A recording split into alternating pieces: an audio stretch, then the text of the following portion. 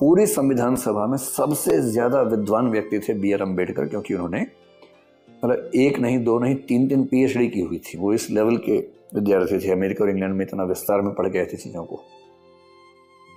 यदि कानून के मामले में कोई एक व्यक्ति उनके बराबरी में खड़ा होता था तो वो थे बी एन राव और वो संविधान सभा के एडवाइजर थे।